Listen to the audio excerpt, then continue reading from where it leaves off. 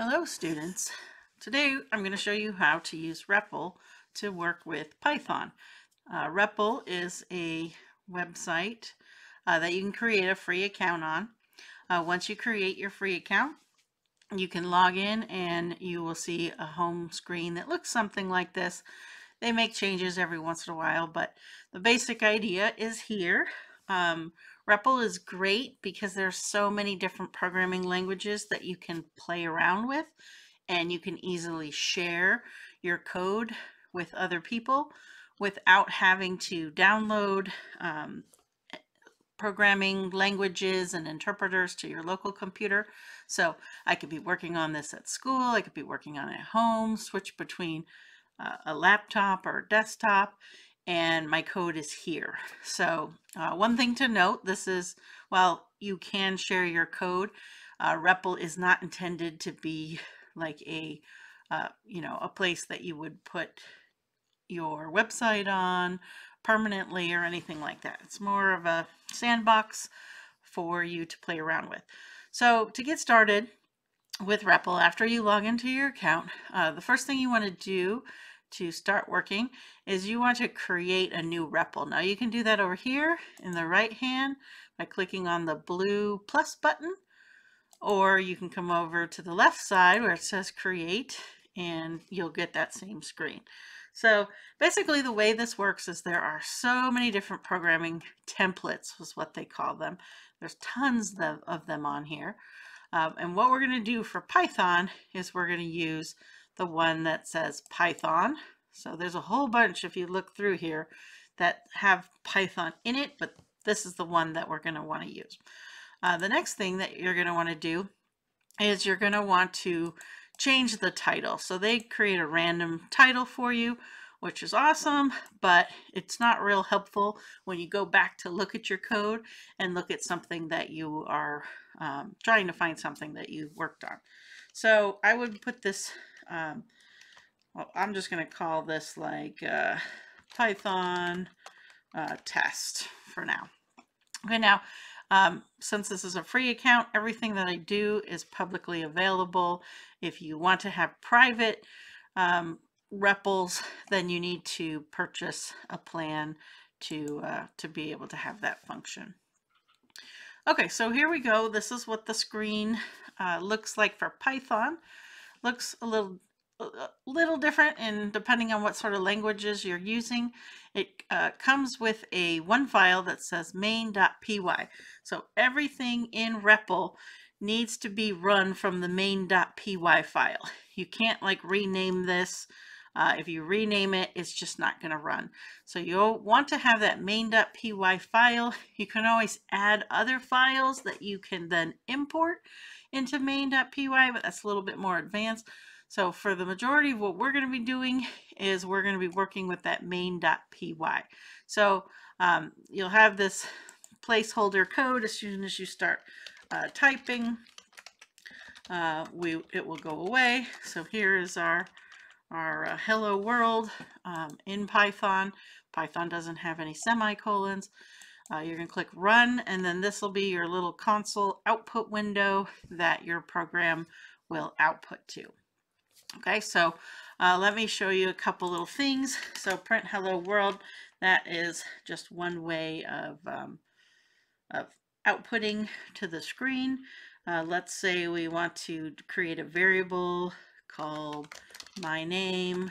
I always uh, like to start with Tony Stark. Okay, so let's just say first name equals Tony, last name equals Stark. Oops, totally didn't spell that right. Okay, so if I wanted to print out um, one of these values, I can say print first name, again, run. Let's see what it looks like. Remember, Python is case sensitive like most programming languages. So if I do a mistake in my variable naming, you'll notice that this has a lowercase n. There will be a little red squiggly line. If you just hover your mouse over, it'll tell you what the error is, undefined name, first name. So that means, hey, you're, you're trying to print out something that I don't know, I have no idea what this is, right? So that's the interpreter telling you there's a problem here.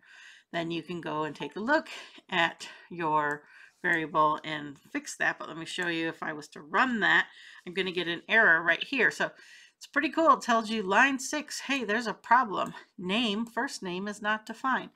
Never fear, that's typically a typo, but it could be that you're referencing something you haven't created yet. But once I change that to the correct uh, variable name, it'll work. Um, if you want to put some spaces in between your uh, program output, you can just put print with nothing inside of it, and that will give us a nice blank line. If I want to print both the first and last name, I can say first name, comma, last name. What the comma does, it concatenates things, but it also includes a space. So it's really nice. I don't have to say first name plus space plus last name. So let's take a look and see what that works. So see, it goes right to Tony Stark. I can also print it out this way. Uh, first name plus space plus last name. And let's see if that does the same thing. So which, which do you prefer, right? Um, I prefer using that comma. The comma comes in handy quite a bit. Um, if I want to print out a string that says, hello, my name is, remember, put that comma on the outside and it will put that space there for you. And then first name, last name, and then run. There you go. So, uh, oh, and then you can put a put a period in there, make it a sentence. Oh, see, that doesn't work with the with the comma. So there you go. So if you don't want a space, you can use the plus sign. Um, so that's basically the uh, the way that we are going to work with um, our REPL code. Uh, what you can do then when you are ready to send this file to me, uh, your instructor, if you were sending it to someone else, you're just going to copy this URL from the top of the window. Uh, it can either say main.py or it can just be the name that you called it. Okay, then it loads up that main anyway. Do not use the invite button uh, because if you use the invite button, the person has full control over your code. So don't share by using the invite button.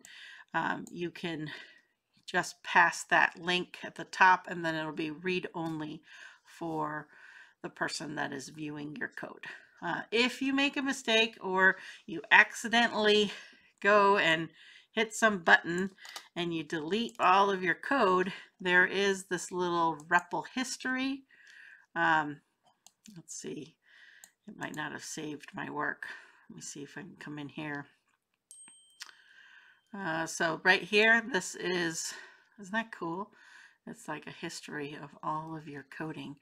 So if I accidentally did something, I can come backwards and, and then restore it to the version that I would like. And there it is again. So uh, that is that. And I hope you have fun with REPL.